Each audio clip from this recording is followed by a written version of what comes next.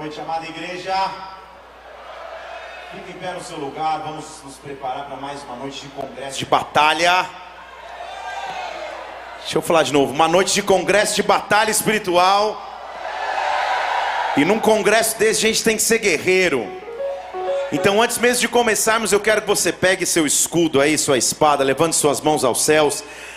Abra os seus lábios e participa desse momento de clamor. A Bíblia diz: quando nós clamamos, Deus responde. Então quero que você abra os teus lábios agora e comece a clamar a Deus por essa noite. Clama por aquilo que Ele vai fazer em sua vida e através de sua vida, para que os céus estejam abertos sobre nós. Abra os seus lábios e comece a orar agora. Para o ensaio tá bom, abra os seus lábios e ora de verdade. Isso, isso, isso, isso. Faz da sua vida um instrumento de clamor e adoração a Deus. Senhor, nós abrimos os nossos lábios para clamar a Ti nesta hora. Nós nos unimos em clamor, em oração, em busca e entrega por aquilo que o Senhor fará nessa noite em nosso meio. Nós te pedimos, vem, Pai, vem de forma sobrenatural sobre nós, nos reveste de unção, capacitação, autoridade. Ah, meu Deus, que desde o início deste culto, do tempo de adoração, o Senhor encontre em nós vasos preparados para que o poder de Deus derrame em nós e através de nós. Ah, Senhor, repreende tudo que seria contrário ao teu agir, contrário ao teu mover, contrário ao teu sobrenatural, e que só existe espaço para o teu reino, para a tua glória, para a tua presença e manifeste sobre nós. Encontre em nós disposição, encontre em nós preparo. Oh meu Deus, reveste-nos nesta noite. Oh, levante as mãos aos céus e ora junto com alguém, ora com a pessoa que está ao seu lado. Abra os teus lábios e clama por essa esta noite. Prepara a atmosfera para o que nós vamos viver. Isso, isso, levante sua voz, levante sua voz. Ei! Sim, meu Deus. Ei! Levantai, ó portas, as vossas cabeças. Levantai-vos, ó entradas eternas. E entrará o Rei da Glória. E entrará o Rei da Glória quem é o Rei da Glória? O Senhor forte e poderoso, o Senhor poderoso na batalha. Levantai portas, as vossas cabeças, levantai-vos portais eternos, e entrará o Rei da Glória. Que quem é o Rei da Glória? Quem é o Rei da Glória? Quem é o Rei da Glória? O Senhor Eagles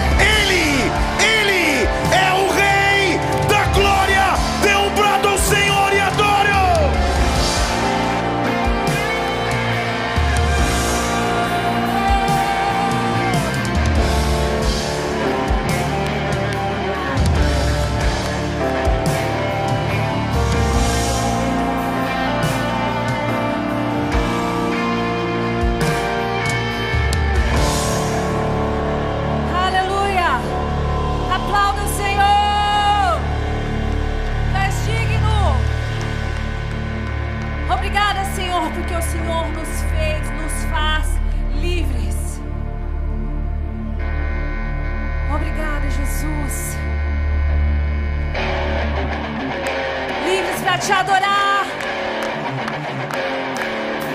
para te buscar.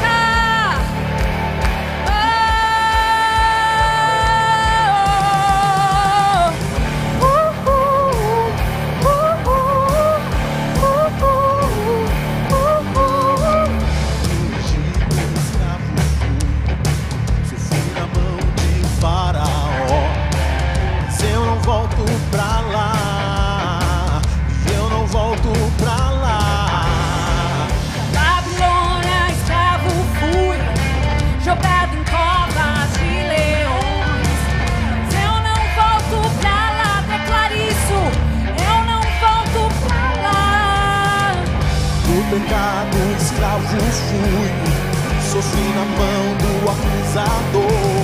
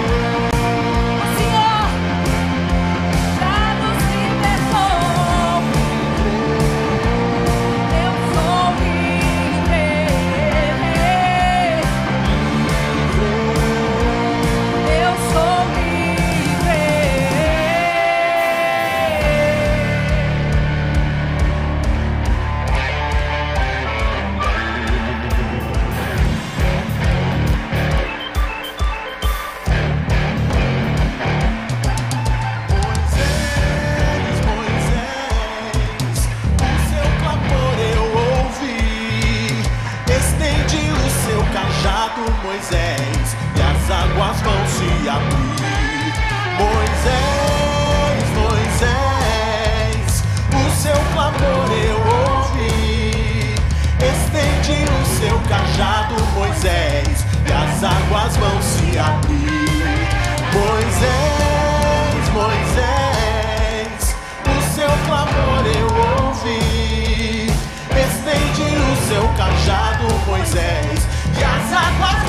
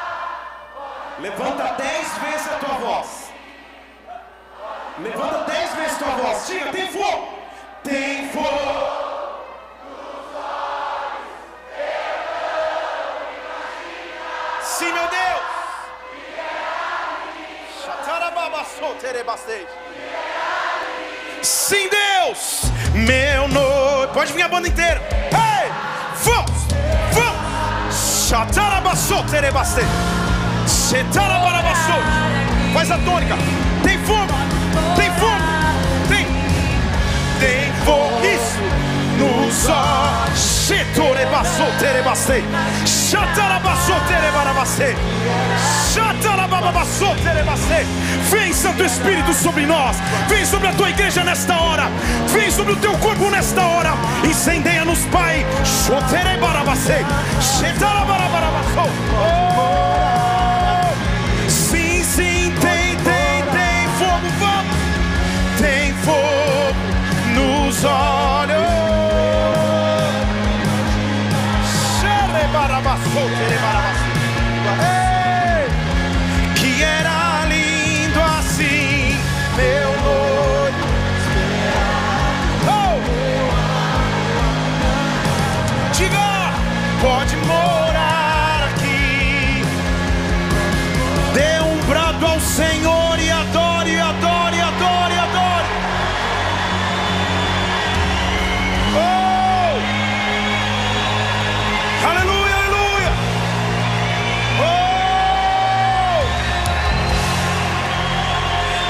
Já coloquei as minhas vestes brancas.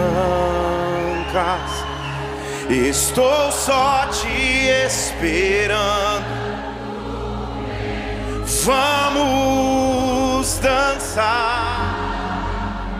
Maranata.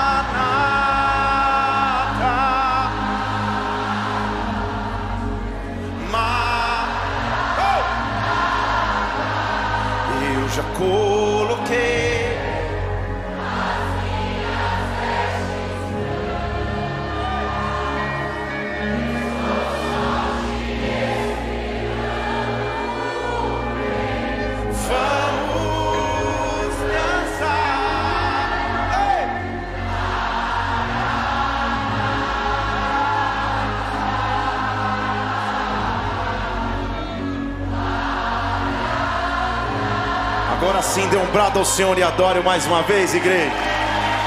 Aleluia, aleluia, aleluia, aleluia. Santo é o teu nome, Senhor, nós te adoramos. Nós te damos toda honra, toda adoração, todo louvor. Essas palmas são para ti, Rei dos Reis e Senhor dos Senhores. Teu nome é grande, teu nome é exaltado. Teu nome está acima de todo nome. Rei, todos têm que se prostrar diante da tua soberania, do teu poder e majestade. Rei majestoso, assume domínio e comando nesta hora. Nós te adoramos aqui, Senhor. Nós te exaltamos aqui, ó Rei. Oh! Aleluia, aleluia, aleluia, aleluia. Pode se sentar. Amém? Glória a Deus. Posso contar um testemunho que aconteceu comigo agora? Ou deixo para amanhã? Ah, eu vou deixar para amanhã, senão eu vou pegar o tempo do preletor. Amanhã à noite eu conto o testemunho.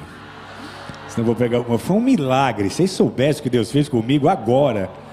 Mas amanhã eu conto. Então tá bom, rapidinho, rapidinho. Tô saindo de casa para vir para a igreja, tô lá em Araçarigã, cadê a carteira? E como ela sempre some, eu falei, ou tá na bolsa da pastora, como sempre, ou tá em casa, em algum lugar, daqui a pouco a gente acha. E ninguém achava, ninguém achava, ninguém achava. Eu pensei, meu Deus, eu saí de moto com o Renan cedo, que a gente foi no Catarina comprar um presentinho que foi aniversário dela. Pergunta pro seu vizinho, você já comprou o presentinho dela? Pergunta. Já comprou o presentinho da sua pastora? Aí, eu saí com o Renan e voltei pela Castelo Branco, e ninguém achava a carteira. Daqui a pouco, chega uma mensagem no Instagram do Bola de Neve São Roque, de uma moça que eu falei com ela agora aqui, chegando na igreja, que ela disse: Eu estava na Castelo Branco, eu te vi na moto, a carteira caiu do seu bolso. Eu estava no carro de trás, teus documentos se espalharam pela estrada. Eu parei com meu esposo, com meu namorado, a gente recolheu os teus documentos. Quem que faria isso hoje em dia? Conta para mim. Elas, eles recolheram os documentos, entraram no Instagram da igreja, descobriram quem a gente era e, e tá com a minha carteira, com os cartões, tudo bonitinho. Vê se não tem um anjo que cuida da minha carteira. Olha que testemunho. E eu acho que isso aconteceu só para a gente evangelizar o casal, que agora eu vou falar agora, vocês foram anjos, vocês precisam conhecer a igreja. E eu falei, pode ficar com o dinheiro que estava na carteira. Quatro reais tinha. Davi Rebolo, seja bem-vindo, meu querido. Que alegria! Muito obrigado por estar conosco mais essa noite. Seja bem-vindo. Obrigado.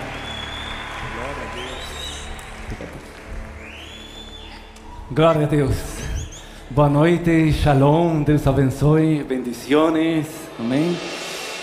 Glória a Deus. Que bom estar aqui no Brasil, bom estar nesta casa, nesta família, para ver a glória de Deus nesta noite, a presença, a revelação do Espírito Santo. Muito obrigado mesmo, amém? Porque Ele já está aqui. E quando Ele já está aqui, qualquer coisa é possível. Amém? Qualquer coisa é possível, meu amado. Quero agradecer enormemente a oportunidade do Senhor que me dá de estar aqui, de verdade. Eu apartei um ano sabático para ordenar algumas coisas, ter um tempo pessoal. E nesse tempo eu tenho estado ausente do Brasil, da administração e das escolas. Quando o apóstolo falou comigo, eu disse assim: é claro, eu preciso liberar uma palavra porque não é no nosso tempo. O Brasil precisa de uma palavra nesta hora e os profetas têm que falar. Amém? Então, de uma forma excepcional, estou aqui nesta noite. E também porque devo uma honra a esta casa, a esta família, principalmente ao apóstolo Rina, que tem sido um amigo, um companheiro. Porque um companheiro não é só aquele que bate papo, é aquele que diz uma palavra certa na hora certa. E um tempo atrás, quase dois anos, quando estava coração sangrando numa situação, numa circunstância, foi simplesmente uma palavra apostólica que disse: Deixa que o altar te cure, não pare. E assim consegui um ano mais pregar, ministrar dezenas de escolas no Brasil. Até que tomei esse tempo para mim e pronto voltaremos com muito mais para derramar dentro da nação brasileira. Amém? Assim que obrigado, obrigado apóstolo também pela força, obrigado a toda esta família e todos vocês que de muitas maneiras escrevem mensagem orando e abençoando nossas vidas. São tantos amigos aqui presentes nesta noite. Muito obrigado mesmo. Amém? Mas tenho uma palavra para vocês. De fato, eu vou fraccionar elas porque eh, às vezes a profecia é muito simples, mas se não há entendimento, passa como um som e uma moda.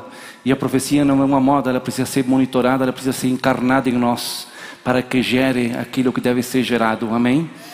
Então vou começar esta noite falando um pouco sobre algumas batalhas que existem na nossa vida e que são batalhas de fato pré-adâmicas, ou seja, antes de Adão. Nós temos alguns conceitos na nossa teologia que estão bem até certo ponto, mas a guerra espiritual, as batalhas não começam com o pecado do homem. De fato, a maldade já existia no universo. Então, a pergunta que você deveria se fazer para seu irmão é: a sua batalha é tua batalha ou é uma batalha? Porque será que essa batalha é só sua ou é uma batalha que está acontecendo na nação, no mundo e nesta geração? E devemos discernir e saber o que é uma coisa e diferenciar de outra, amém? Assim que me ajuda e pergunta ao seu irmão: essa batalha É sua? Pergunta para ele qual é a sua batalha. Mas diga em nome de Jesus. Nesta noite, um novo livro se abrirá. E é o livro da justiça do eterno. Para que se cumpra aquilo que está escrito desde antes da fundação do mundo. E é impossível que essas palavras sejam apagadas. Se cumprirão, porque detrás de cada uma dessas palavras foram seladas com o sangue de Jesus Cristo. Assim que olha como profeta teu irmão, tua irmã nesta hora e diz para ele: Não importa as suas batalhas, Deus cumprirá aquilo que ele escreveu em seu livro, respeito de ti.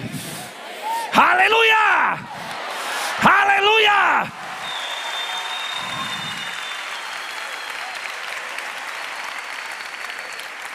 Caímos, nos enfraquecemos, nos debilitamos, mas essas palavras não podem ser apagadas, porque foram seladas, consagradas mediante o sangue daquele que nos redimiu, nos fez um só povo, perdoou nossos pecados e nossas iniquidades, e não ficou só nisso, ele se sentou na destra do Pai com poder e autoridade, e diz a Escritura em Atos capítulo 2: não só derramou o Espírito Santo, senão que derramou o Espírito Santo para demonstrar que Ele está na destra do Pai, até que todos os seus inimigos sejam colocados debaixo da estrada dos seus pés. Aleluia!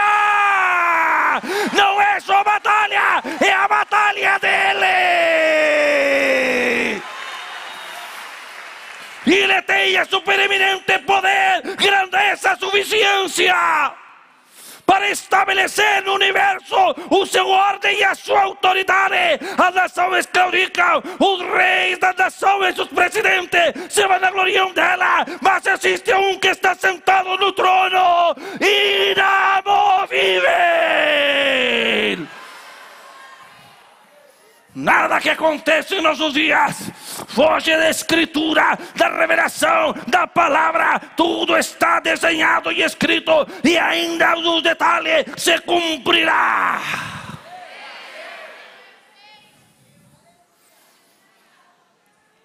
Quatro coisas para você. A primeira delas, defina o que é batalha espiritual. Quando Jesus esteve no deserto, não era uma batalha espiritual. Aquilo era algo dele, para encarnar o chamado. Ele tinha que ser tentado e ser provado nas fraquezas, nas debilidades, como você é, como homem, como mulher. Mas a batalha de Cristo não se dá ali, se dá na cruz. Está entendendo ou não? Existe um nível de batalhas que é de vocês, pessoal, até que você entenda o que é santidade, para te purificar, te santificar, para que você saiba o que é a direita da esquerda, o branco do preto, a luz das trevas. E isso nós somos fracos, lutamos, pelejamos com isso. Isso é o que nós encarnamos desde Adão. A fraqueza, a fragilidade que temos que lutar e cada um tem que alcançar o seu próprio patamar e medida de santidade. Mas existe outra coisa que a batalha espiritual. O que nós chamamos eh, em Hispanoamérica é a guerra espiritual. A batalha espiritual, diríamos assim, eh, existe um nível pessoal, mas existe outro nível, que é o nível da guerra, que já está estabelecido. De fato, Adão, Adão estava num lugar que era o que nós chamamos de perfeito, mas não era perfeito porque já existia as trevas, já existia a maldade. Não sei se você entende. E Adão entra debaixo de uma batalha cósmica, onde Satanás era descrito como senador, como comerciante, como rei dos orgulhosos.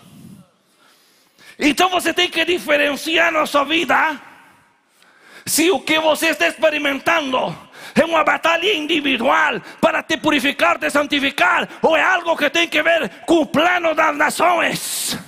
E muitos de vocês, pastores, ministros, empresários, Você tem um assignamento no plano de Deus para a eternidade, no plano de Deus das nações. Então você não escolhe essas batalhas, elas chegam até você.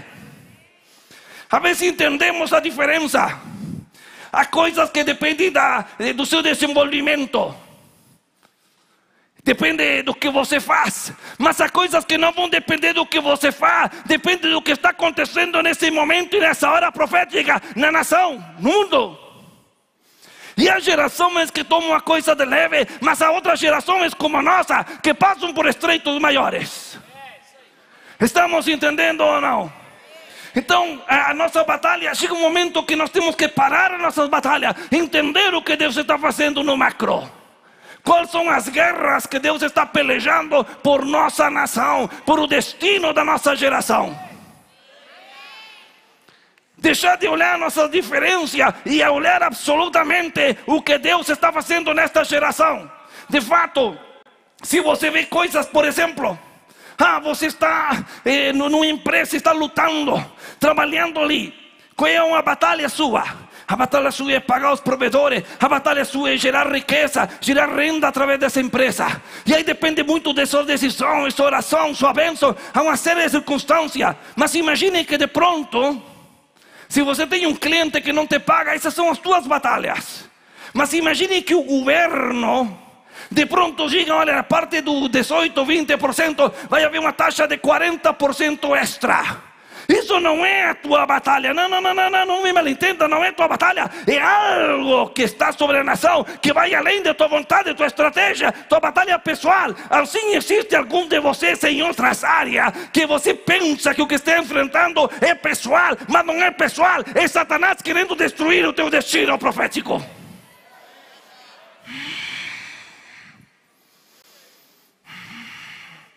E alguns de vocês vão se empurrar, se acusar, falar no, nível humano natural, quando não estão entendendo o assignamento da nação.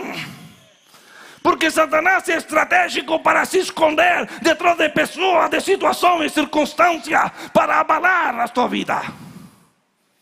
Satanás é covarde, nunca vai vir de frente. Mas você tem que discernir quais as batalhas que você tem. Se você está no grupo de todavia está lutando pelas tentações, quero te dizer, já vamos encontrar uma forma por isso. Mas, eh, olha, pare um pouquinho esse livro aí. Por quê?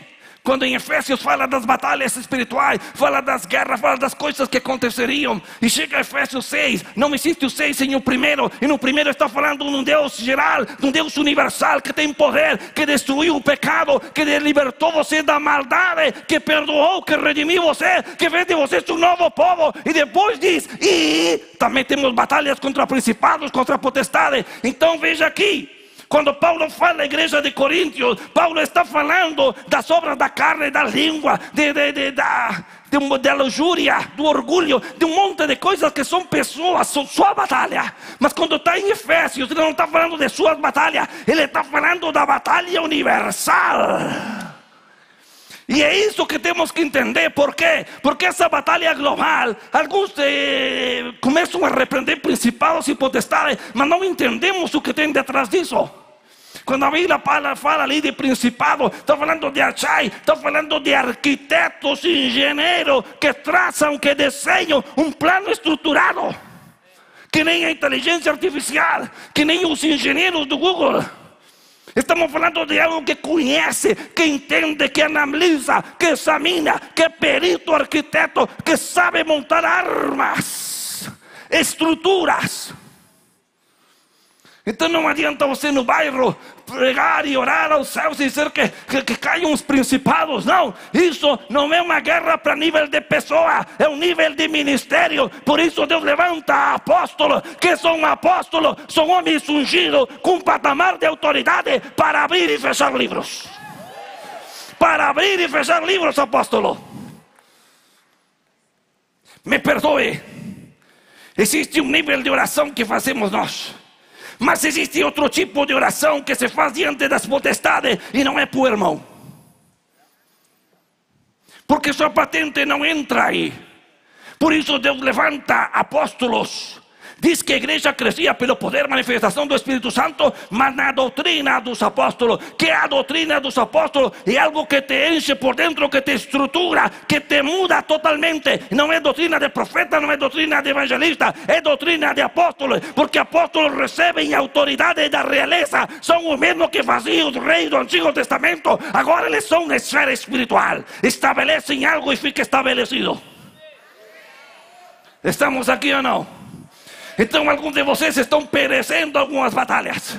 Porque não estão pelejando no quadrante certo. Estão pensando que é pessoal, mas a tua luta não é pessoal, irmão. É nas esferas celestiais. E você não deve pelejar essa batalha. Você deve orar pela cabeça local, pela cabeça da igreja e gerar o combustível para que os apóstolos se sentem na cadeira de juízo e estabeleçam uma ordem da nação.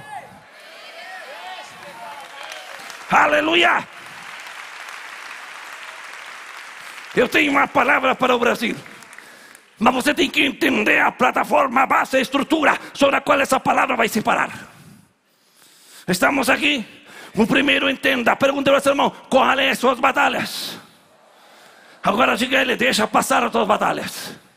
Fale, deixa passar as tuas batalhas. Elas são pequenas diante da guerra que enfrentamos. E fala para o seu irmão, agora vamos focar na guerra. Fale, agora vamos focar na guerra. Fale, é a hora de guerrear pelo Brasil. Fale, é a hora de guerrear por esta geração.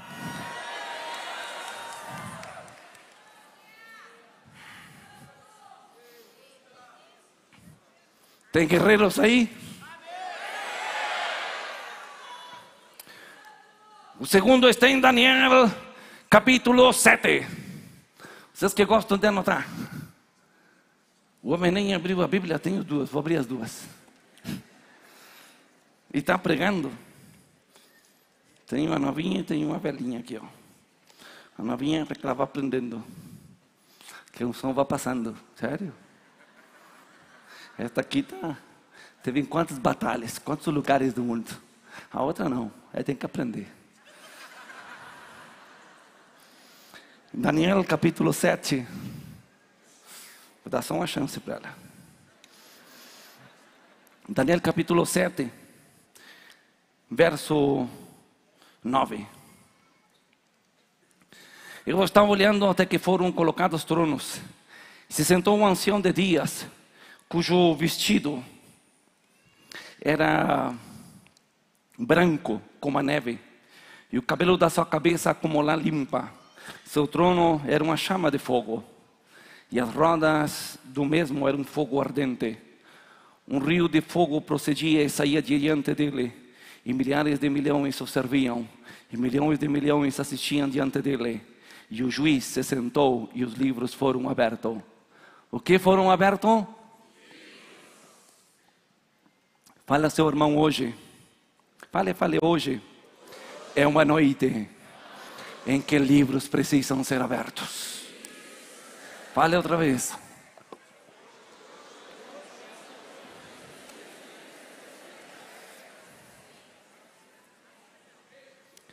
Cada pessoa sentada neste auditório, cada pessoa que está assistindo através da mídia, existe um livro com seu nome. O livro do Apocalipse fala que os livros foram abertos e os que não estavam escritos no livro da vida, então foram apagados da face da terra.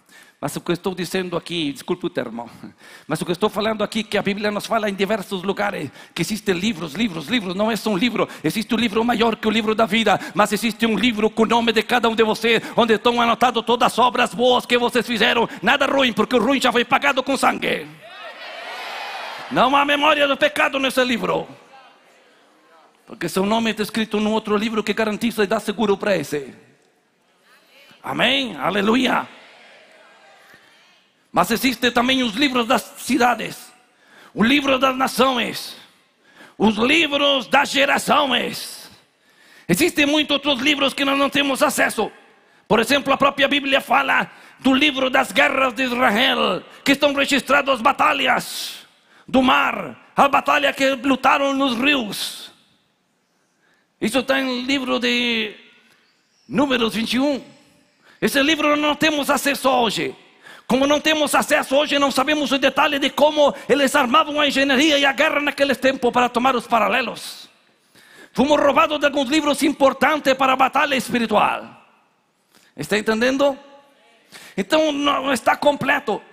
Mas o que eu quero falar aqui em segundo lugar é dos livros das nações. A Bíblia diz que o Eterno, o Pai, como nós falamos em nossa língua, se sentou no trono e depois desta cena aparece o seu filho e se senta ali, um que tinha a figura de homem, que é a figura de Jesus.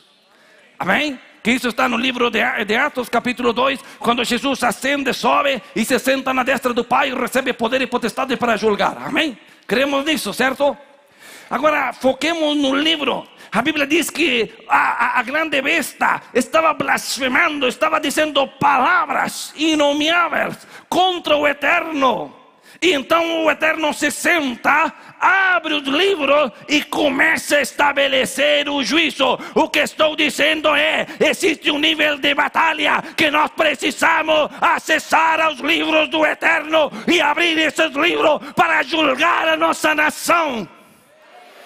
E que ela se ajuste àquilo que o Eterno escreveu. O que estamos falando aqui é denso porque estamos dizendo como ensina a sua vida. Deus te dá com um propósito que é só bênção e bênção e bênção e cuidado, destino. Mas nós atrapalhamos isso ao longo da nossa vida com fatos, com obra. E chega uma hora que a gente se reconcilia com a verdade, com a cruz, e começa a alinhar a nossa vida com aquilo que o Eterno escreveu. Amém? Acreditamos nisso. Teologia básica, verdade? Assim existe um princípio o livro das nações. Existem homens, existem, na verdade, organizações que estão transtornando aquilo que Deus escreveu sobre a sua nação. E a sua geração é a que está pagando esse preço. E nós precisamos entrar num tribunal de autoridade, onde se confrontam as potestades, os engenheiros deste mundo presente, os príncipes deste mundo, das esferas celestiais, e dizemos: não, não, não, nós, como igreja, herdeiros da terra, que recebemos a chave de poder e autoridade, discordamos com os livros de legislação na terra e queremos trazer a sentença do céu.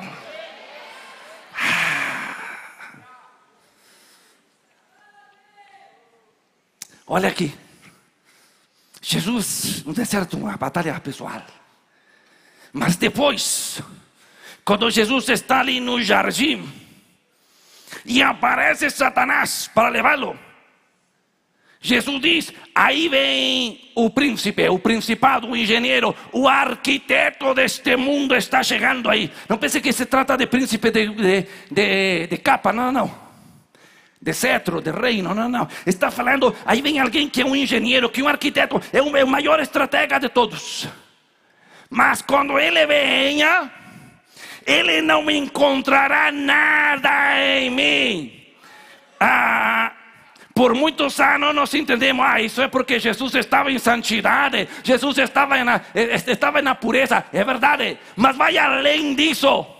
O que Jesus está dizendo, quando vem Satanás com seus escritos, seus argumentos, quando vem com as suas legalidades, quando ele olha o meu livro, verá que não existe nada disso, porque aqui neste livro só está escrito a vontade do meu Pai, porque não faço a minha vontade, senão a dele.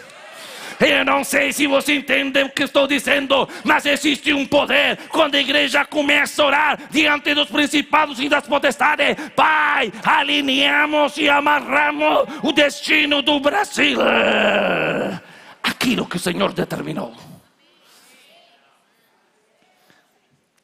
Quando a Bíblia diz que Satanás pediu a Jesus: Olha, Pedro, ele pediu para sacudir você.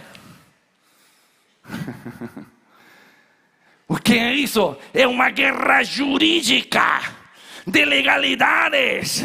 Não estava falando de Pedro, a tentação. Não, não, não, não, não, não, não, não, não tem que ver que se Pedro era bom caráter, mau caráter, tinha pecado. Não, não, não se tratava disso. Pedro representava alguém que havia recebido. Escute aqui. Porque isto é uma chave para você. Vai mudar algum conceito do que você aprendeu. A Bíblia diz que Pedro, o Senhor olhando para ele, disse: Pedro, a ti a você te entrego a chave para que tudo que você amarre seja amarrado, que você ate e desate, o que você abre, o que você feche. Eu não sei se você entende, mas estou dizendo, Pedro, eu vou te dar um poder e uma autoridade que não dou aos outros, mas esse poder que estou dando é para que você abra e feche, abre e feche. A unção apostólica pode abrir e fechar os livros das nações.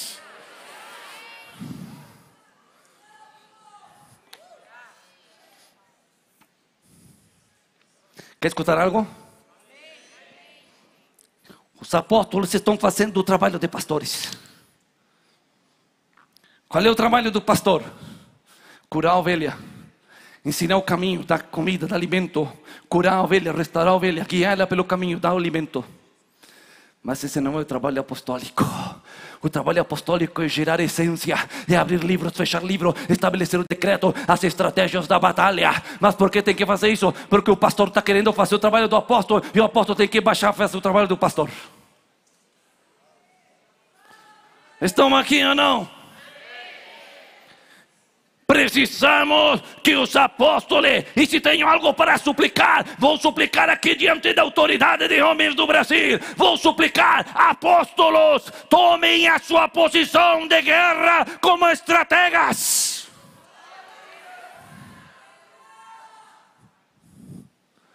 Porque está tão intenso que se não existe um posicionamento apostólico verdadeiro, imediato na nação, corremos o risco de perder uma geração. Se entende ou não? Fale, nós precisamos, fale, nós precisamos de nossos apóstolos em autoridade para que legislem na nação. Está aqui? Jesus não estava falando a Pedro, Pedro só rata e desata, só um tema de oração. Não, não, não. Estava falando em outro nível de autoridade. Que é o nível que Jesus nos deu. ¿Para quê? Para estabelecer que aquilo que está confrontando literalmente a Escritura, a palavra que chamamos de entender, nós precisamos atar isso em nossas nações. Nós precisamos dizer: o decreto da terra, ele tem que se submeter àquilo que o Eterno escreveu no seu livro.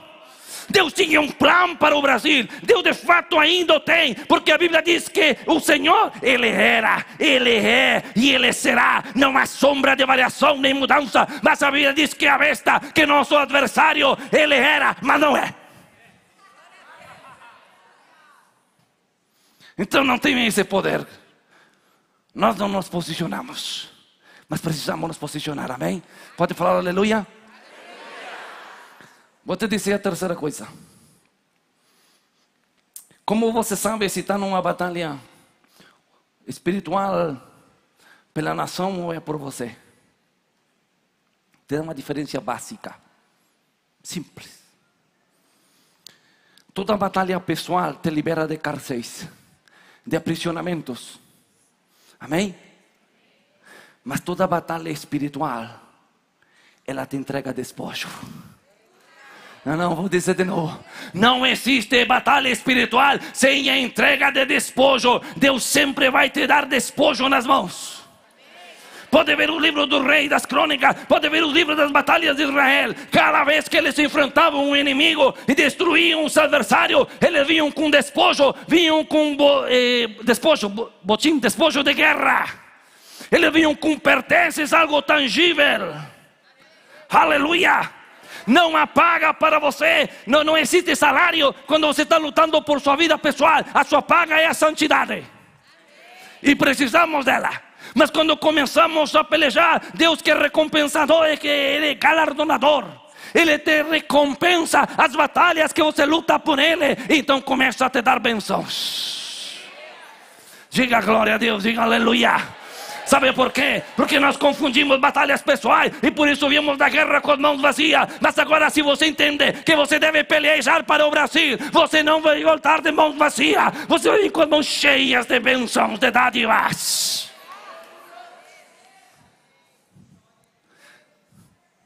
Isso para explicar o terceiro princípio da batalha espiritual.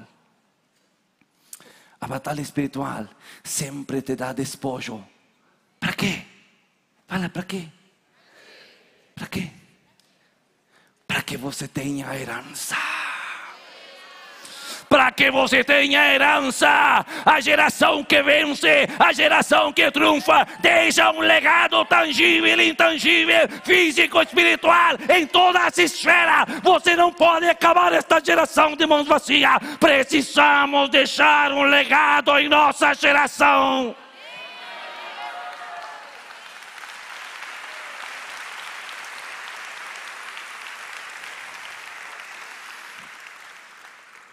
A Escritura fala no livro de Gênesis que está Jacó. Jacó já está ancião. Chegou no Egito, encontrou sua família, se reconciliou com seu filho, está alegre. Mas passam uns anos, já viu as gerações crescer. E agora chega a hora que ele tem que partir. E nesse momento ele chama, antes de abençoar as tribos de Israel, ele chama no particular, no secreto e fala a José: Me traz os teus filhos aqui. E começa a falar para os filhos de José: Olha, eu tenho uma porção extra para vocês. José não é o primogênito. Está aqui? José tampouco precisa, agora ele é o virrei, vice-rei de Egito. Ele é o segundo em mando. Tem autoridade, tem domínio, tem tudo. Mas Jacó não vê a José. Jacó vê a descendência, a geração vindoura. E vê a dois. E dá a ele a dupla porção, transfere a bênção. E à medida que ele começa a falar e dizer que os abençoa e todas essas coisas, ele diz uma expressão que para mim mudou minha vida faz alguns anos. Mudou absolutamente tudo que eu sabia de guerra. E diz: o anjo que me acompanha. O quê? O anjo que me acompanha. Abençoe a eles. Veja aqui. O anjo que está comigo. Que fortaleceu minha mão para que com meu arco de guerra e meu e minhas setas e minha espada eu tomasse e possuísse uma parcela, uma porção de terra extra. Essa porção extra de terra é a que eu estou entregando com legalidade, com uma dupla porção para teus filhos, José. Eu não sei se entendem isto. Mas o que está dizendo aqui Jacó é: olha, eu tinha um território, havia um mapa de conquista, mas eu, eu, não, eu, eu não me limitei a isso. Houve umas batalhas que eu tive e que eu enfrentei e, e pelejei algumas, algumas guerras que não estavam escritas. E a herança que eu recebi disso é que eu quero te dar a ti, José. Não estou tomando do teu sermão, estou te dando uma porção extra. Não sei se estão entendendo, mas se vocês vão além da medida, se vocês vão além da medida. Deus dará uma porção extra de despojo para a nova geração. Vale a pena pelejar pelo reino.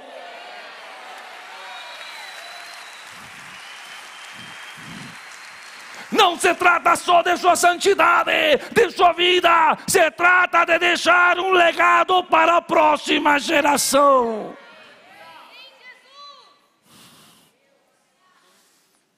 Aleluia. Está entendendo? Isso é perfeitamente transferível. Eu vou explicar de novo. Você só pode transferir aquilo que você conquista. Estou falando aqui que se você pelejar as batalhas do Senhor, se você tomar, conquistar a terra, você tem a legalidade para transferir isso a seus filhos, seus filhos dos seus filhos. Você não depende do profeta e a dupla porção do Espírito, você vai ter uma dupla porção de batalhas e vitórias. Se você pudesse sair da batalha e não se involucrar nela, te daríamos passagem, amém, aleluia. Mas já que você não pode sair dessa batalha, então encare de frente, vá para a guerra com a certeza de que você pode possuir território, porque o anjo do Senhor está contigo, e mais que o anjo, o espírito de poder.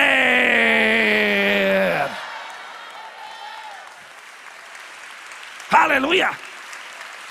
Pedro entendeu. Olha, olha, olha. Eu sei o que aconteceu aqui. Desceu o Espírito Santo. E o Espírito de poder sobre ele. Esta é a promessa. Porque o Filho de Deus, Jesus Cristo, está sentado na destra do Pai. E ele prometeu que daria esse poder para que sometamos os seus inimigos debaixo dos seus pés.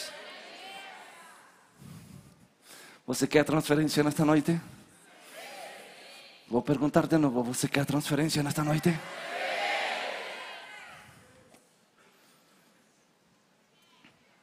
Aleluia. E não vou me cansar de repetir.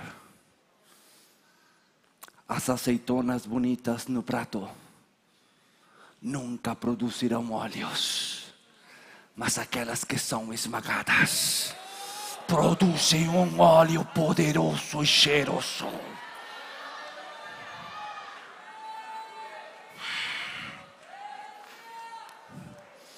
Quando você vai diante de um homem, não olhe para ele o que ele porta, o que, o, que, o que ele conquistou. Trate de cheirar ele. Se você cheira as feridas, o odor das feridas que foram curadas, das batalhas, aí está a essência. Esse é o óleo que nós precisamos. De fato, Zacarias e viu a figura. Havia duas oliveiras e elas sangravam, vertiam óleo e isso acendia as luzes. Apóstolo, não prive esta geração de entender a sua dor.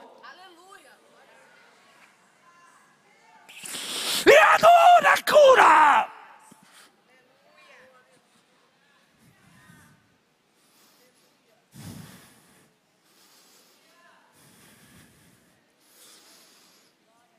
Ou você elegeu ser azeitona.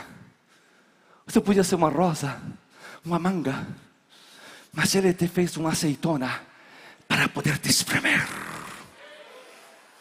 Ah, eu não queria isso, já não importa. Agora o único que você pode decidir é, é você daqueles que não acontece nada. Tá tudo bem, só bênção, aleluia. Ou você vai se deixar que essa dor e sofrimento sirva de óleo para outros. O Senhor não precisa de mesas bonitas. Ele precisa de homens e mulheres que cheirem.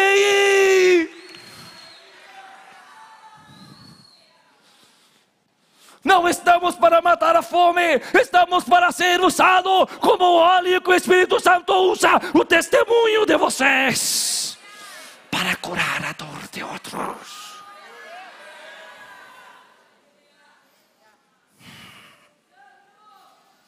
¿Está aqui ou não está aqui? Em quarto lugar, da batalha. Já entendemos que temos que mudar, sair do nosso livro e entrar no livro de Deus. Pelejar a batalha para a nossa geração, que já vou falar qual é. Segundo, a gente entende agora que nós podemos tomar esses livros e começar a ler os decretos do céu, aquilo que é imutável, e ajustar o que está acontecendo na nossa nação. Você veio num congresso de batalha, não estamos num retiro de cura interior. Não é uma cruzada de salvação, nós estamos falando do que você tem que conhecer a Jesus. Em terceiro lugar, você tem que entender que essas batalhas geram despojos. E você toma esses despojos e transfere à sua geração vindoura. Olha assim para o que está do teu lado, homem e mulher, o que seja, e diga para ele e para ela: Você vai deixar um legado e despojo para a sua descendência. Fale, porque isso é o que os pais fazem.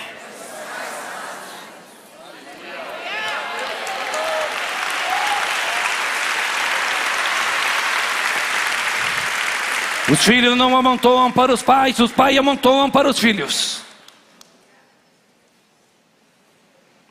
Em quarto lugar, e aqui é onde vem o princípio. Amém? Por que fazemos tudo isso? Por que lutamos? Por que batalhamos?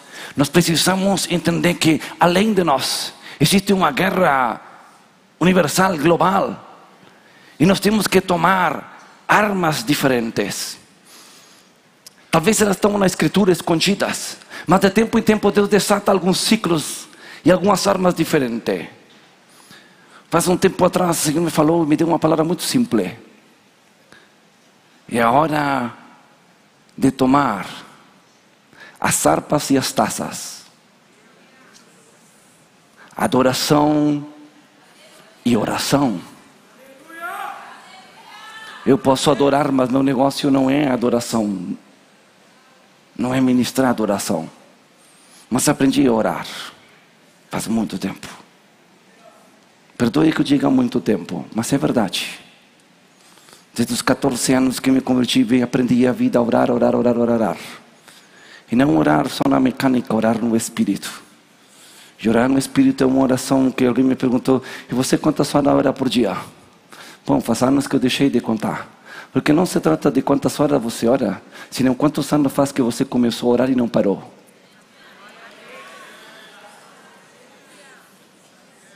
Porque entrei numa dimensão que não para 24 horas. Se você me aperta ou me belisca, belisca. Vai sair um dia canta rabahandiri, turi mi kata tapatoya sota nem aí. E se você me acorda, vai sair. E se eu, eu viajo às noites, como eu, a noite passada, eu não consigo dormir. Porque se eu chego a dormir, eu começo a sacudir meu corpo na noite e começa a sair as vozes. Então, para dormir do meu lado, tenho que estar disposto a escutar. Mas ao menos não estou roncando, estou orando. Então, o que eu estou falando é que existe um nível de oração no espírito, e me perdoe, eu vou ser bem enfático aqui: é oração, não intercessão.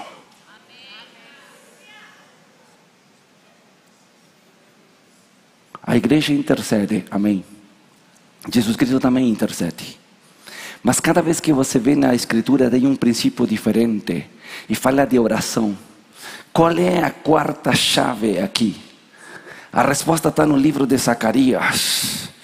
Então, naqueles dias, derramarei espírito de oração. O que é o espírito de oração? A diferença de uma intercessão. Quem ora são aqueles que têm autoridade, que receberam autoridade para orar diante dos principados e das potestades e estabelecer os decretos do eterno. A oração é sem vontade. Você não está pedindo por uma pessoa, por uma circunstância. A oração é um espírito. Me perdoe que eu vou dizer, mas está na Escritura. Não temos o tempo para fazer um exegese disto, mas deixe-me dizer assim: a Bíblia diz que então o Espírito Santo, o Espírito Santo, livro de João, não orará, não orará o que ele quer mas o Espírito Santo é o eterno, é o Espírito de Cristo, é Deus mesmo. Mas porque diz: não orará o que ele quer, senão o que ele ouvir do meu Pai, e o que ele está ouvindo do Pai, do eterno. O eterno está ali sentado em seu trono inamovível e começa a dizer: a ver, a ver, Brasil. Ano 2023 e começa a ler o que ele escreveu. E à medida que o Eterno está lendo os seus decretos, o Espírito e começa a encarnar encarnar o espírito de oração para que a igreja, com gemidos indecifráveis, comece a trazer a manifestação da vontade de Deus na terra.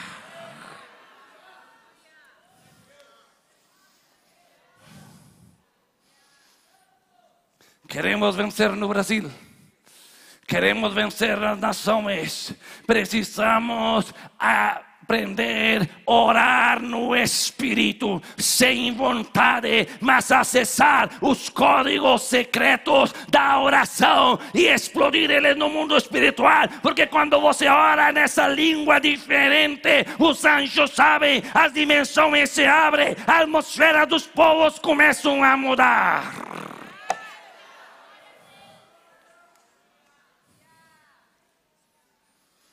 Você tem que começar a cheirar os moveres de Deus na face da terra. Me perdoe, algo está sendo, está, eh, sendo sacudido no Brasil. Em toda a Latinoamérica temos países inteiros que estão caindo. Está entendendo ou não? Países que tinham uma grande chama estão se esfriando. E outros estão surgindo, estão se levantando.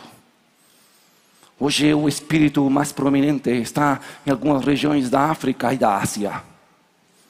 Fico feliz ver alguns homens de Deus que estão incursionando na Ásia, porque lá tem uma chama diferente. São os quadrantes de Deus, o Espírito vai se mexendo, as nuvens vão se mexendo. E temos que farejar isso, entender isso. Ano 90 e tanto, estamos na igreja numa pequena cidade no Uruguai. Nós morávamos naquela cidade. E veio um grupo de jovens universitários que vinham da Coreia. E disseram: Nós precisamos de um lugar para orar. Então a igreja se deu um lugar e disse: Não, amanhã às nove vai ter um grupinho aqui. Se avisou isso boca a boca, né? Que vai vir um grupo para orar. E eu fui lá. Havia aquele grupo de jovens e eles se jogaram no chão. Era a primeira hora da manhã. Um grupo de jovens só se deitaram no chão do templo e começaram a orar. E era uma hora, duas horas, três horas, quatro horas, meio-dia, tarde e todavia estavam jogando ali. Mas eles não estavam orando como nós orávamos. Berravam, eles estavam berrando, chorando, moqueando, se batendo no chão e suplicando a misericórdia de Deus. Nós não sabíamos o que era isso, porque para nós orar era outra coisa. Mas estavam eles debaixo do espírito de oração, gemendo por nossa nação. Não entendíamos o que era isso.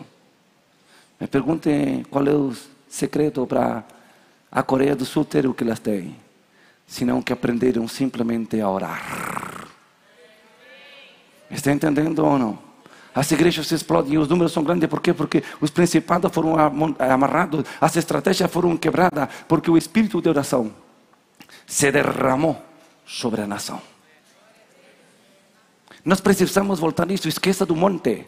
O monte já é geração passada. Você não tem o tempo para ir lá no monte. Não se trata disso. Se trata de aprender a orar em espírito todo o tempo. Quando o espírito de oração vem sobre você, não tem lugar, não tem mais pausa. Você está em oração só no espírito, no espírito, no espírito. Pode fazer, pode processar, pode estudar na faculdade, pode administrar sua empresa. Mas seu espírito está gerando poder, poder. Quando te tocam, você não está no vácuo, não está ausente. Você sempre está conectado no poder. Você fecha os olhos, só está o poder. Você pensa algo, você vê o poder, vê a glória, vê os caminhos tudo prospera em você. Porque o espírito de oração tem esse poder de prosperar, porque o espírito puxa a glória de Deus, e onde há manifestação de glória, há prosperidade. Estamos aqui ou não? Deixa eu te dizer deste jeito. Quais são as batalhas do Brasil? Poderíamos nomear um monte delas, mas eu não vou falar. Se você quer, olha lá para trás no congresso profético, e você vai ver uma dessas pregações que falei aqui. O inimigo vai pedir quatro coisas de vocês. Quem estava aqui no congresso profético dois anos atrás? Uhum. O inimigo vai pedir quatro coisas bem simples de vocês. Me entrega a tua prata, me entrega teu ouro, me entrega tuas mulheres e me entrega teus filhos. Esse é o plano de Satanás. Não é de um partido político, não é de uma cidade, não é de uma nação. É o que Satanás quer. Estamos aqui ou não? Isso está na escritura no livro de Crônicas. E veio diante do rei e disse: Me entrega. Quais são essas quatro coisas? Bem básico, bem simples. Você pega a pregação depois e busca ali. Graças a Deus, todavia temos pregação online. E, bem simples, o inimigo quer seu dinheiro. Por que quer seu dinheiro?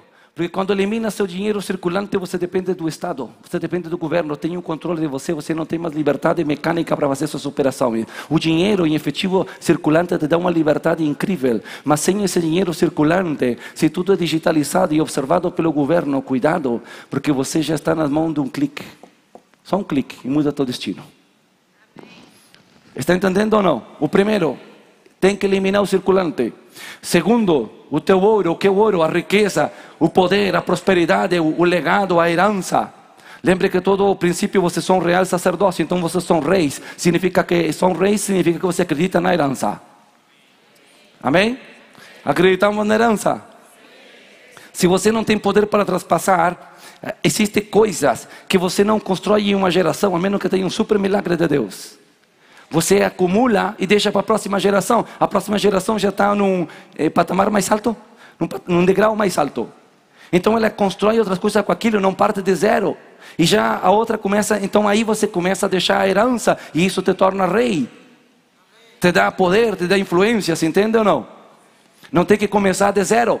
Mas se você tira esse poder, cada vez que eh, nasce uma pessoa é um reset. É de zero, então não tem poder.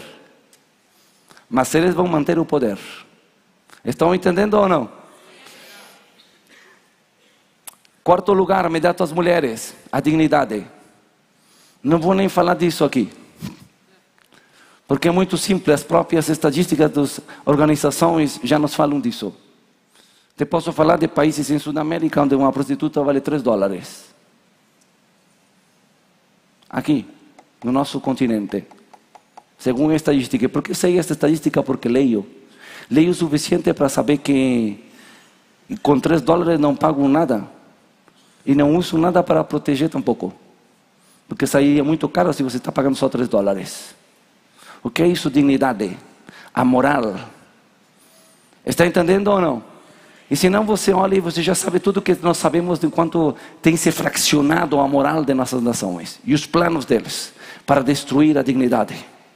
Que quando você perde a dignidade você não vale nada, me perdoe. Tudo que nós valemos é porque nossa moral nos estabelece os princípios do que é e o que não é certo. Sim ou não? Em quarto lugar, entrega-me seus filhos. O que está falando? Muito simples. Da geração vindoura. Eu falei isso dois anos atrás aqui. E veja a mídia, porque vocês não são cegos nem surdos. Eu sei que vocês conhecem. O grito deles nas ruas: Vamos por seus filhos. É ou não é? Sim? Então está aí. Essas são as coisas que estão desalinhadas desde antes. E nós temos que ser muito sábios agora. E eu talvez falei sobre isso aqui um desses dias. Uma estratégia para você como igreja e segundo o que diz a Bíblia sobre a ciência, as coisas que aconteceriam na última hora e como elas têm uma relação com o nosso presente. O segredo, as chaves estão na Escritura. Só que temos que ler ela em outra linguagem agora, com revelação. Precisamos disso.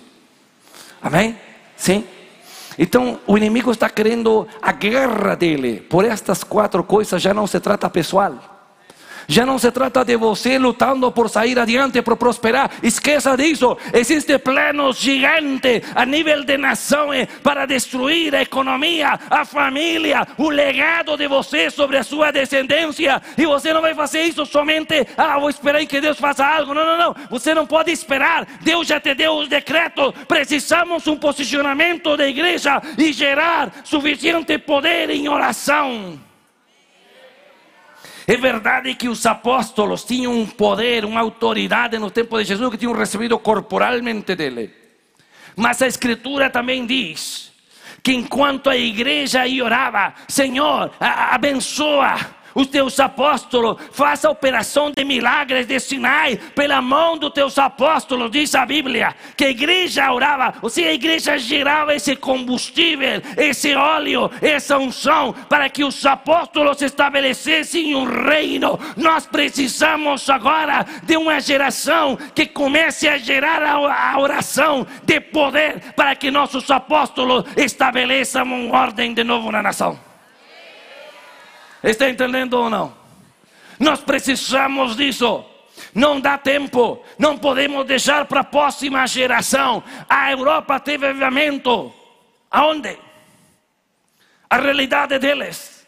A América está numa luta também decisiva, igual que o Brasil. São as duas nações que todavia estão suportando nas nossas Américas o norte e o sul. Os olhos de Deus estão voltados para o Brasil e existe uma responsabilidade nossa de pelejar, lutar por esta nação. Estamos aqui ou não? Você está disposto a clamar por seu país? Estou montando outras coisas e estava vendo as estatísticas. Estava vendo os números da mídia social. Quantas pessoas gastam por dia? Isso é número, você pode pesquisar e ver que é real, é simples, matemática simples. É a soma de quantas horas e minutos você passa na mídia social do seu celular multiplicado isso por os milhões de usuários. Duas coisas. O Brasil é o rei a nível global em uso de mídia social. Só perde para a Índia. É o segundo posto a nível mundial em uso de mídia social. Mundial. Se você tira os indianos, Brasil é o número um. Mais que os Estados Unidos está em oitavo lugar. Ok? Mas olha aqui o dado. Olha aqui o dado. Isto me comoveu. Em média, a nível global, duas horas. Duas horas 39 minutos. Duas horas 40. As pessoas gastam por dia isso significa que o dízimo do tempo de nossa geração, o dízimo do tempo diário, mídia social. Estadística, não estou. Talvez você não usa, não usa, não importa, é a média. É a, a média. Isso significa que é o 10% do dia, mas é o 15% do tempo em que estamos acordados, suponhando que você dorme todo dia. Alguns não dormem, né? Mas a maioria. Vou te dar outro número. O dia tem 144 mil minutos. Isso significa que 14 minutos por dia é o 1% do nosso tempo. Fechem os olhinhos, só fechem o olhinho assim e vai responder o que eu vou perguntar bem rápido e ninguém vai ver. As câmeras estão olhando para o céu. Ok? Feche os olhos para me responder só esta pergunta. Fechem os olhos. Quantos de vocês oram por dia 15 minutos em língua? Levantem a mão. Só vocês. Os demais não levantem, ó. Vai cair um raio. Meu Deus. Ok, obrigado.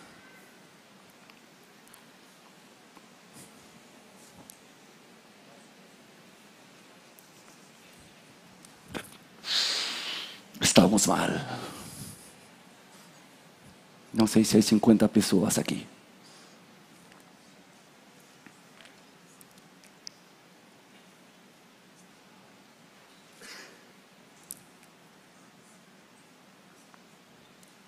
Eu estou jejuando mais de 200 dias cada ano.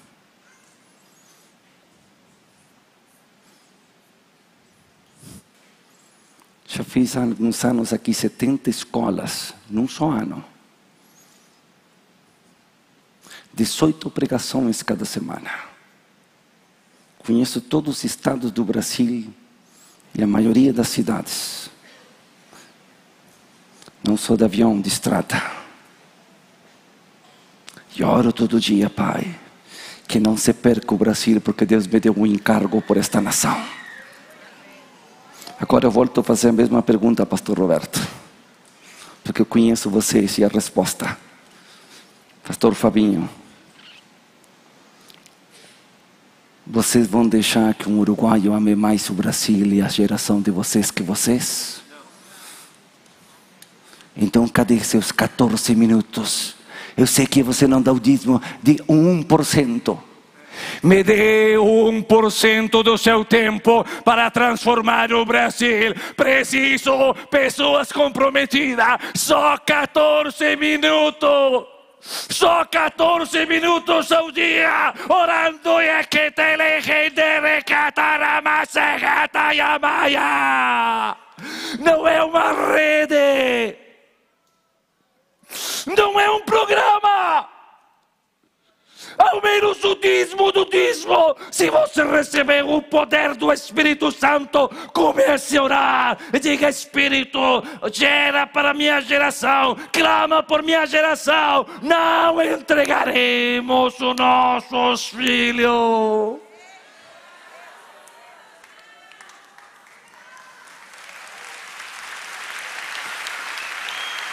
Só 14 minutos ao dia. O que é isso?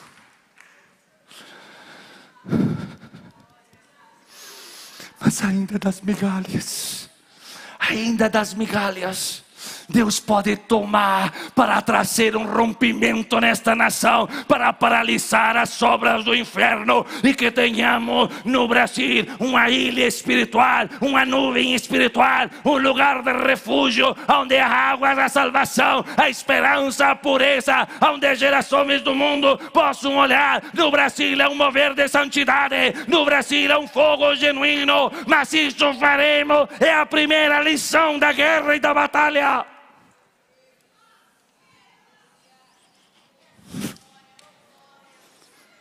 Eu conheci homem na década de 90. Ele dizia: Eu me dei uma hora por dia. Nós não temos essa força. Temos para estética, para mídia, para o trabalho. Nós não temos uma hora para Deus. Mas 15 minutos ao dia. Só 15 minutos. 14 minutos, 40 segundos, 15. É tudo que precisamos para mudar a história. Se vocês têm concordância com isso, eu quero orar nesta noite para que o Espírito que engendra, o Espírito que gera, o Espírito que faz venha sobre você, ele vai tomar a tua vida e muitos de vocês vão ser arrastados por um clamor. A Bíblia diz que quando foram destruir as crianças nos dias de, que antecedem a Moisés, quando os egípcios chegavam lá para assassinar as crianças que saíam do ventre, Diz que quando eles chegavam nas casas, as egípcias falavam: Nós não conseguimos, porque cada vez que nós chegamos, as crianças já nasceram, já estão fortes, porque os israelitas são fortes de ventre, elas geram antes do tempo. Preciso mulheres e homens que comecem a gerar antes de tempo. A força sua não está na lábia, não está na estratégia de marketing.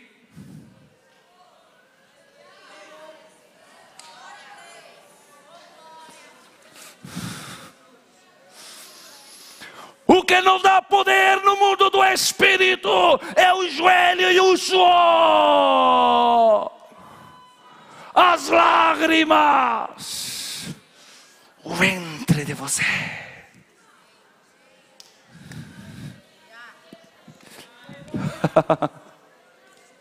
Está aqui ou não está aqui? Está aqui ou não está aqui? Nós teremos momentos maravilhosos aqui. Eu sei o poder do Espírito Santo, eu conheço esse poder. Eu sei o poder dele. O poder do Senhor é esmagador, o poder dele é gigante. Mas esta é uma noite para um tipo diferente de poder. É o poder de nós gerarmos. Nós precisamos gerar um avivamento, um sacudimento no Brasil. Somos a última força, somos a última tropa. Assim como estamos aqui, há milhares de pessoas que estão assistindo este vídeo pela internet, que estão em vivo e que verão esse vídeo. Cada um de vocês, eu comissiono você no Espírito. 15 minutos de poder.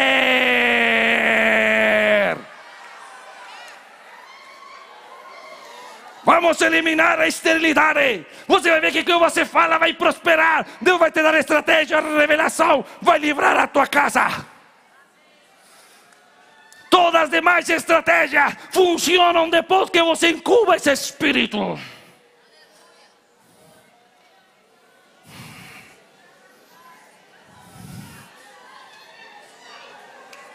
Deus é um Deus de aliança. Deus é um Deus de pacto. Tanto acredita no pacto que derramou cada gota do seu sangue, acreditando que o seu sangue poderia fazer um pacto com vocês.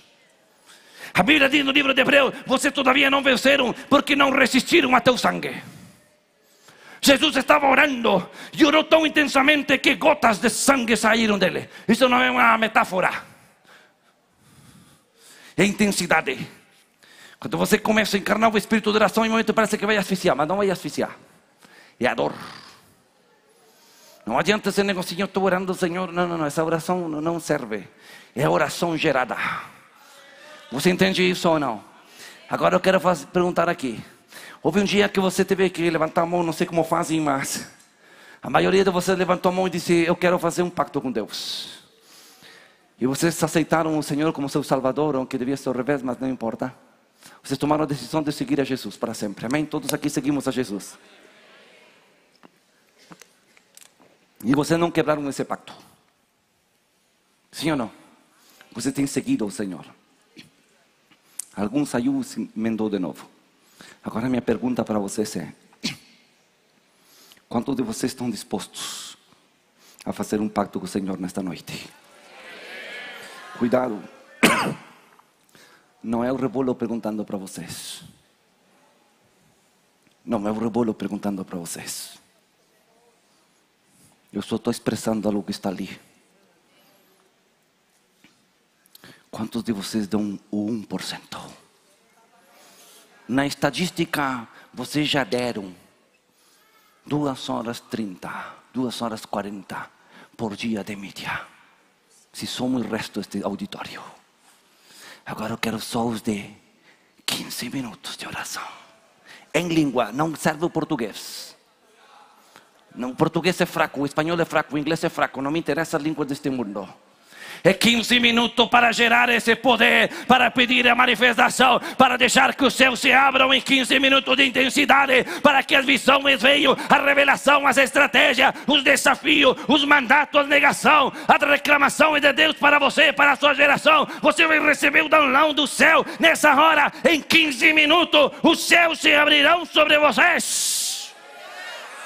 Então você será comissionado, chamado a uma tarefa suprema. Se você é dessa pessoa, coloque-se em pé. Show do pacto. É um ano. Dentro de 20 anos você vai lembrar todavia. É o resto da sua vida. Não adianta se você está fraco, se está forte, se tem batalha ou luta, não é isso. Você tem que gerar, tem que gerar. Você que diz, eu todavia não recebi o Espírito Santo, é porque era hoje. Se você todavia diz, mas como vou fazer se eu todavia não oro em língua? É porque era hoje. É hoje que o poder virá sobre você de repente. Em um instante, sua boca se abrirá, as línguas vão fluir e você será impregnado pelo espírito de oração, como fui há 34 anos atrás.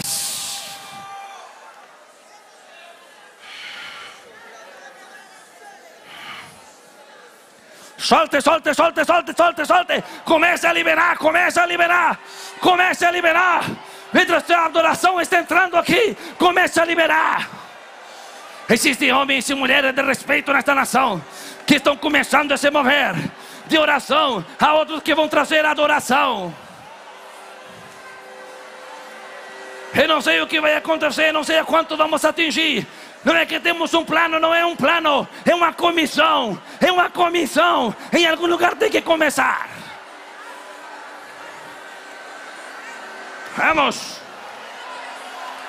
A oração em língua. Não é aqui. Ela tem que vir por dentro. Ela tem que encher.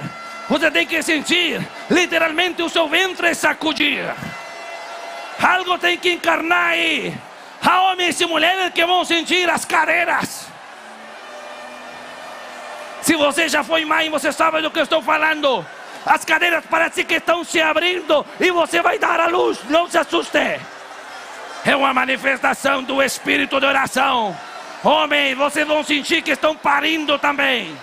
Porque no espírito dá igual. Vamos gerar. Vamos gerar. Nós fomos convocados desta cidade. Deus deu uma visão apostólica. É o momento de destruir os planos dos arquitetos, dos engenheiros, das ideologias deste tempo. Como faremos isso? Trazeremos o poder e a manifestação corpórea, a glória de Deus encarnada. Vamos! Libere isso, libere isso com força. Vamos agora! Vamos agora com força! Me dê uns minutos mais receba o batismo! O batismo do Espírito de oração.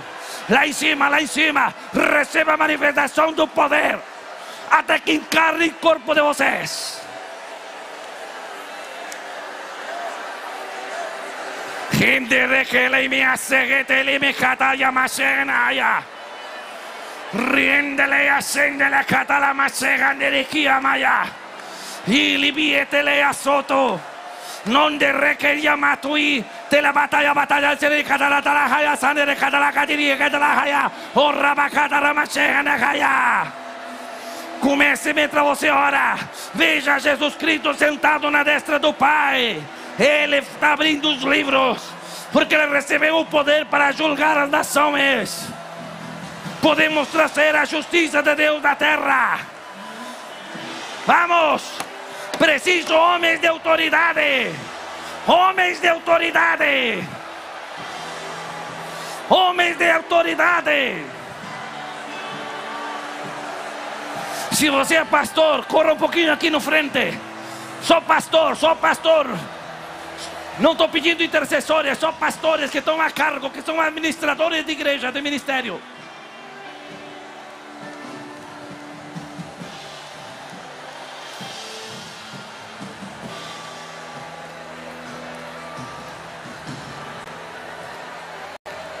Isto não é cultura.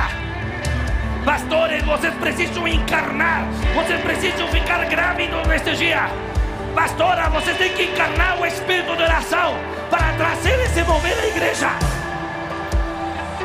Não é uma cultura, não é um sistema de relógio, é uma natureza, é uma transferência de um som.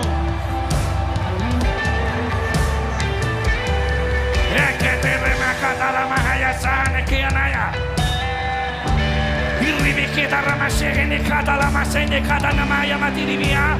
Que se levantem filhos e filhas de vocês, ungidos com poder ungidos com manifestação, ungidos com poder e manifestação. Que saia toda a esterilidade do ventre de vocês, toda a esterilidade da igreja. Que o ministério de intercessão comece a florescer, que se levante com força para paralisar os decretos do adversário, estabelecer a vontade do reino na cidade. Vamos, vamos, puxa, puxa esse poder, puxa esse poder agora. de la calle más allá. Receba, receba el machismo, receba el machismo, receba ese machismo, oye. Hizo, puse ese poder. Ya, ya. Y es que está la haya sangre maya. Riqueta la macericata, ya se derequía maya soga.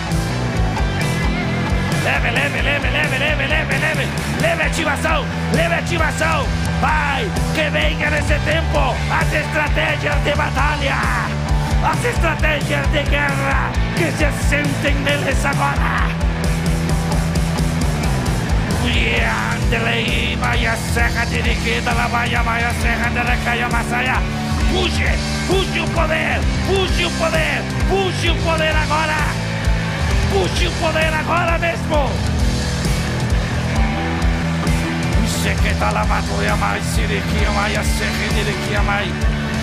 Ahí está, ahí está, ahí está, ahí está, ahí está, ahí está, ahí está, ahí está, ahí está.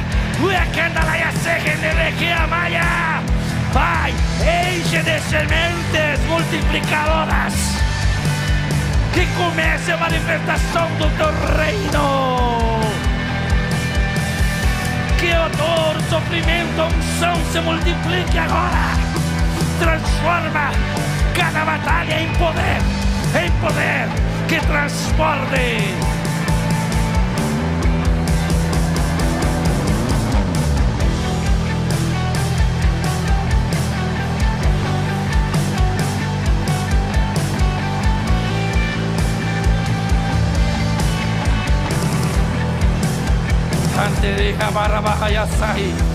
Não baixe, não baixe, não baixe. Me dê dois minutos mais, dois minutos mais, dois minutos mais de plenitude de poder. Só dois minutos, 60 segundos. Vamos, use tua força. E no espírito, aí atrás, aí atrás. Levante suas mãos e comece a gerar. Envia aos quatro cantos do Brasil, aos quatro cantos do Brasil, um avivamento do espírito de oração. Rakata ramada la yaseni kalama yasoni.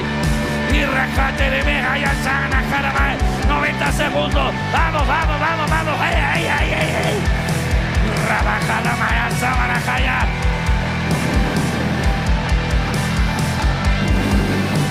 Agora, agora, agora, agora. Receba ativação. Receba transferência. 60 segundos de transferência.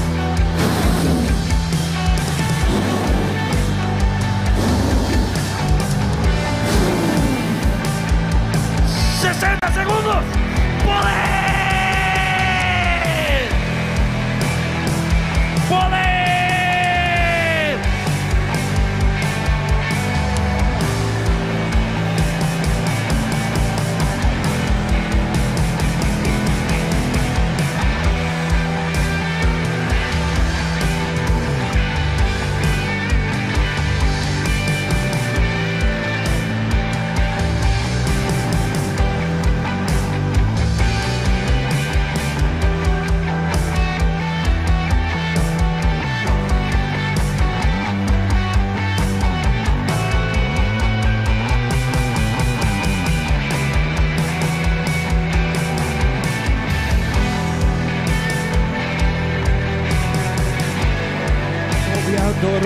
donosi bla bla bla zanda da koyanda shoye baba baso ria pam tio ko baba baso ye. Shvele pa pia korla pa kode soye sherle pa pa kya para maso ya. Pia dorle pa baso he kapa so je shai rore pam tio la ramba pa koye Shurlepne plapa koda balaba sotia yadas shoria corle conto namatoje repapcho campado de so repapopopoche repapopoche cote sote keke. Shvekapato sote ke papa hapaso so ke kote kato keche ore papo he alto to soye Hoi vei kwa ke pato to soye Le repaco de sui capato che catasai e dá-nos a arquitetura do céu.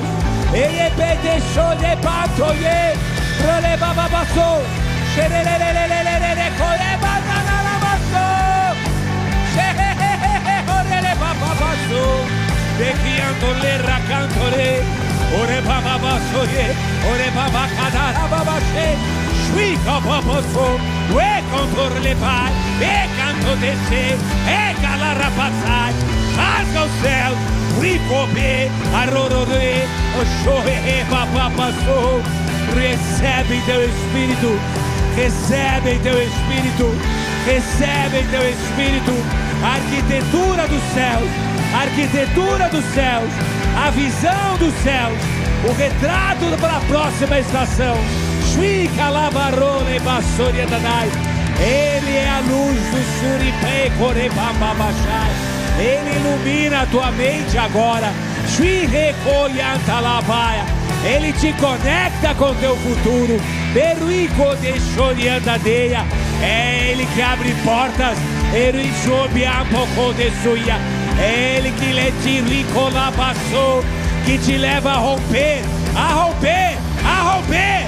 Shehoyabadodiea. Shekoyantelebasar. E calaro roque sol. Erebabaro relero sui andai. É dos olhos dele nos teus que vem o fogo que incendeia a tua alma. Que vem o fogo que incendeia a tua alma. Recuiantalabagoiandadai. Olha nos olhos daquele que te chamou. Olha nos olhos daquele que te chamou. É dele que vem o fogo que incendeia a tua alma. Xererebarrocolalabassai. apostasia, que derrete a frieza espiritual, que derrete o coração de aço. É dele que vem o fogo! O fogo!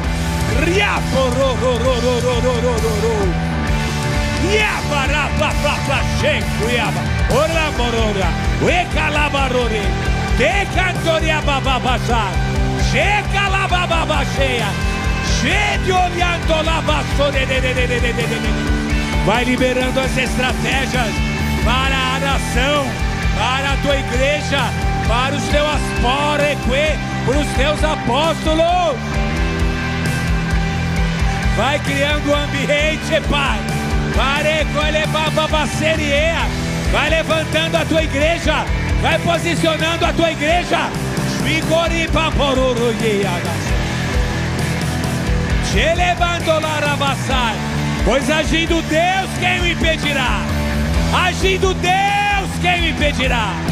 Ele alororore bababababasa.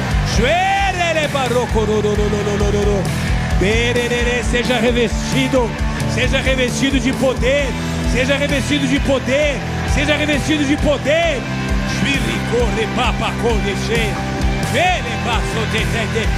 ele te encher. Chakra babasai. Vem nos impregnar o óleo da tua unção. Vem nos mergulhar mais uma vez no teu rio. Vem nos impregnar mais uma vez com o óleo da tua unção. Com o óleo da tua unção. Shvika labaroko labashai. Vai derramando esse óleo agora. Ue, ei, ele, che. Eleva, lama, lama, sou. Shviri, colabashoni, edanai. Até transbordar, até transbordar, até transbordar. Vem nos encher do teu óleo. Shvi, corlepa, papa, sei. Errecatapapapapapasai. É o Senhor que nos faz acesos para a tua glória. Devecoiantolababacaia. Shvir levando.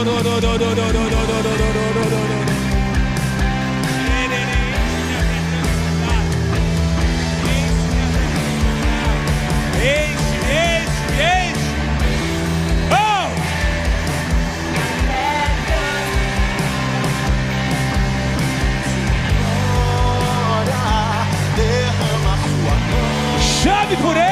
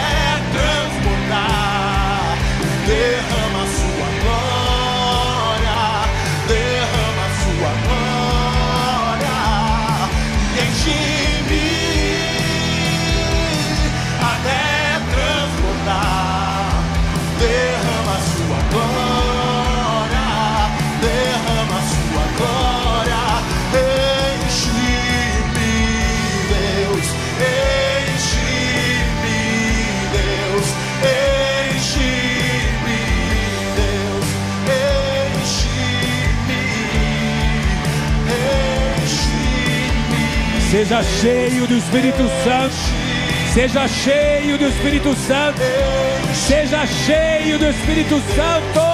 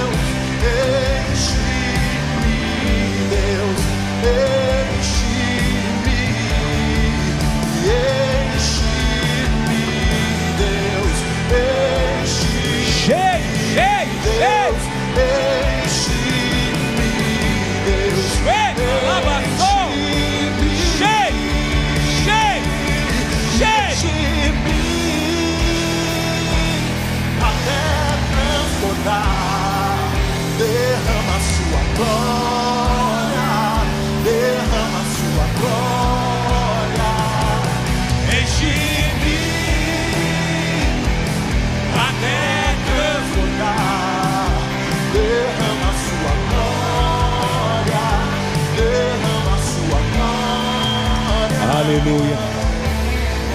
Rihanto shviakanto te sui pampa shui kata sotiatanai.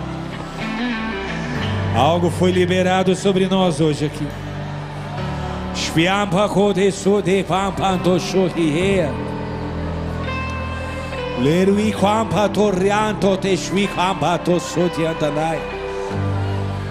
É uma fonte inesgotável.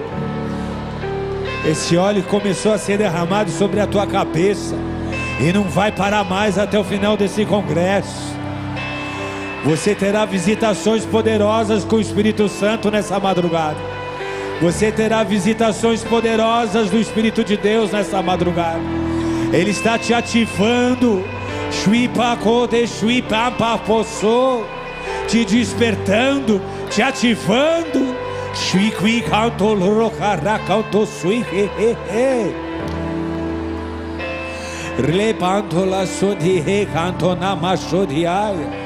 Se prepare para poderosas experiências com o Espírito Santo nos próximos dias.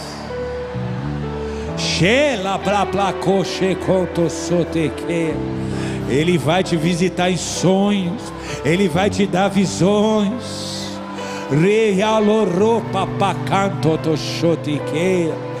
Ele vai te mostrar a arquitetura do céu para essa hora e para essa estação. Che canto la bacore che ante e e. Ler le pacote, só dependa dele. Só dependa dele, não se preocupe com mais nada. Só dependa dele, daquele que te chamou e te escolheu. Só dependa dele. Se volte a ele, receba dele, se fortaleça nele, se renove nele e do resto ele vai cuidar. E calaracapapachanto te sote que calabato re.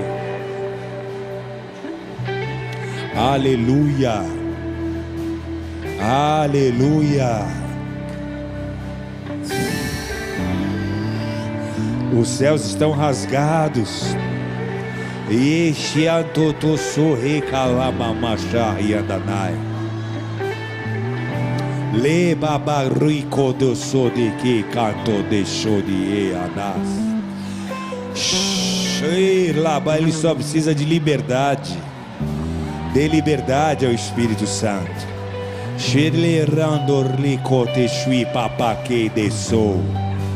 É Ele que te fortalece, é Ele que te levanta, é Ele que te sara, é Ele que te cura, é Ele que te reveste de poder e autoridade. É Ele que te reicabaçote, te dá dons. Ele te capacita. Ele te dá ânimo, Ele te dá alegria.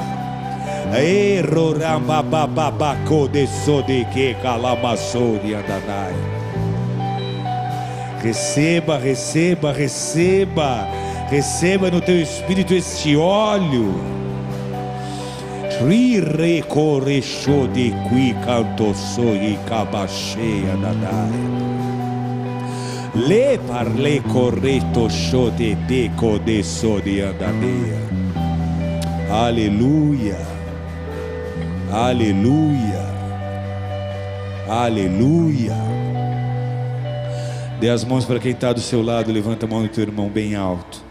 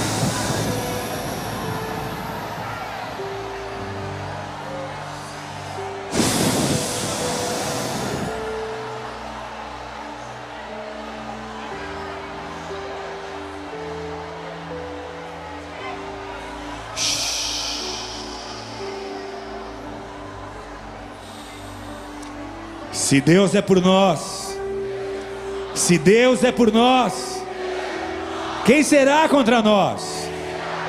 O Senhor é o meu pastor, e nada me faltará. Oremos juntos. Pai nosso que estás nos céus, santificado seja o teu nome, venha a nós o teu reino, seja feita a tua vontade, assim na terra como nos céus. O pão nosso de cada dia nos dai hoje perdoa as nossas dívidas, assim como nós perdoamos aos nossos devedores, e não nos deixes cair em tentação, mas livra-nos do mal, pois teu é o reino, o poder e a glória para sempre. Amém. E amém.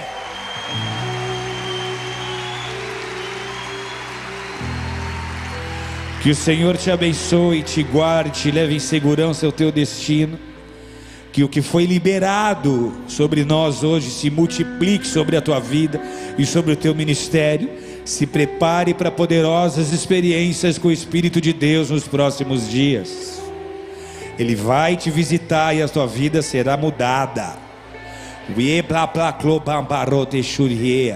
Vai debaixo dessa unção, dessa graça, dessa paz em nome de Jesus. Amém. Aplauda forte a Jesus, igreja. Ele é Deus. Aleluia. Ele é santo, ele é santo, ele é santo, ele é Deus. Amanhã nós teremos 10 da manhã. É isso? 9 da manhã. 10 da manhã. Quem falou 9? 10 da manhã. Alguém gritou 9 ali, sopraram errado. 10 da manhã, período da tarde às 13 e à noite às 8. É isso ou é 7? Podia ser sete, né? Para acabar mais rápido. Para a gente ter mais tempo, né? Amanhã a gente decide. De qualquer forma, avisa quem se quiser trazer que amanhã, no período da noite, a gente vai liberar a entrada. Amém? Traz tua célula, traz o pessoal todo. Vamos entrar numa guerra daquelas boas aqui pelo nosso destino amanhã à noite. Deus abençoe vocês. Beijo no coração. Glória a Deus.